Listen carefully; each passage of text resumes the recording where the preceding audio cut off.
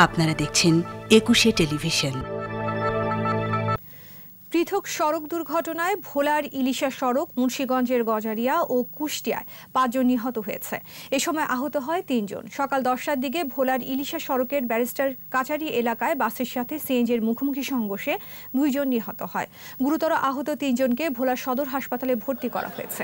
এ সময় উত্তেজিত জনতা সড়ক অবরোধ করে মোট তিনটি বাস ভাঙচুর করে এবং দুর্ঘটনা কবলিত বাসে আগুন লাগিয়ে দেয়।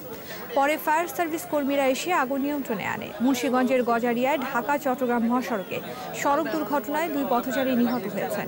সকাল সাতটার দিকে বাউসিয়া এলাকায় একটি পিকআপ ভ্যান নিয়ন্ত্রণ হারালে দুই পথচারী ঘটনাস্থলেই নিহত হন। এ ঘটনায় চালক পালিয়ে গেলেও পিকআপটি জব্দ করা হয়েছে। কুষ্টিয়ার দৌলতপুরে সড়ক দুর্ঘটনায় প্রাণ গেছে আরও একজনের।